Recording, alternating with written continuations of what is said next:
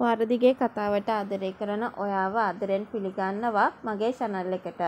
ඉතින් මම අද වීඩියෝ එකෙන් ඔයත් එක්ක මේ වෙලාවේදී කතා කරන්න බලාපොරොත්තුවක් ඇති කරගත්තේ ඉදිරියට රුක්ෂානා ඇවිත් ගිය එක සරණි දැනගත්තට පස්සේ රෙහන්ගෙන් අහන දෙයක් සම්බන්ධවයි. ඉතින් වීඩියෝ එකට යන්න කලින් ආදරෙන් ඉල්ලීමක් කරන්න සූදානම්. ඒ තමයි වීඩියෝ එක බලලා ඔයාටත් මෙවැනිම වීඩියෝස් දිනපතාම බලන්න කැමැත්තක් ඇති වෙලා තියෙනවා කියලා විශ්වාස කරනවා නම් විතරක්ම එහෙනම් ඔයාටත් පුළුවන් මගේ channel එක subscribe කරලා මාත් එක්ක එකතු වෙන්න. ඒ වගේම like කරන්න, comment කරන්න, තවත් නොදන්න යාළුවෙක්ට දැනගන්න, share කරන්නත් අමතක කරන්න එපා.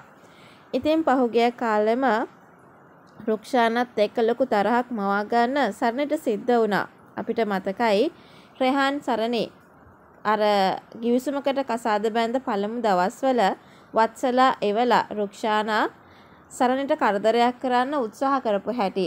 හැබැයි ඒ වතාවේදී රෙහන්වයි තමන්වයි වෙන් කරයි කියලා තියෙන බයට වත්සලාට පහර දීපු විදිය ගැන වත්සලා ගුටි කාලා ගියා විතරක් නෙවෙයි වත්සලා ඇදගෙන ගිහපු හැටිත් අපිට හොඳටම මතකයේ තිබෙනවා. ඉතින් කොහොම හරි රුක්ෂානටත් ඒ වගේම පහර කන්න කීප වතාවේ සරණගෙන් සිද්ධ වුණා. මොකද සරණිට ඉවසන්න පුළුවන් කමක් නෑ රෙහන්න තමන්ගේ ජීවිතෙන් ඈත් කරන්න එන කවුරුවත්. ඒ කට්ටියව දිරවන්නේ නෑ කියන කතාව අපිට මතකයේ රැඳුණු කතාවක්. කොහොම හරි මේ ඇවිල්ලා තියෙන්නේ රුක්ෂාන රෙහන්වයි සරණිවයි වෙන් කරන්න බලාගෙනමයි. ඉතින් ඒ නිසා තමයි සරණිගේ ඇත්ත කතාව නොයසේනම් බන්ටි වෙලා ඉන්න කාලේ බන්ටි කරපු දේවල් ගැන සම්පූර්ණ කතාවක් කියන්න ලොකු උමනාවකින් තමයි හිටියේ කියන කතාව අපිට විශ්වාසයේ රඳුණු කාරණා අතරට එකතු වෙලා තිබුණා. කොහොමුණත් රුක්ෂානව හරවල යවන රෙහාන්ට සරණී මුණ ගැහුන්ට පස්සේ ඒ කියන්නේ ගේ ඇතුළින් ඉඳන් එළියට ඇවිල්ලා අහන්නේ රුක්ෂාන මොනෝද මහත්තයාට කිව්වේ කියලා. ඉතින් රෙහාන් මොන වගේ දෙයක් කියයිද?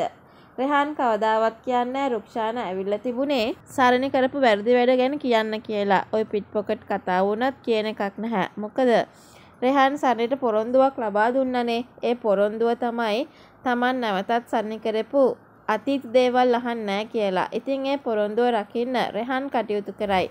මොකද රෙහාන් කියන්නේ පොරොන්දු රකින්න දක්ෂ කෙනෙක් විත්තිය නම් පහුගිය කාලේ අපිට පැහැදිලි වුණානේ.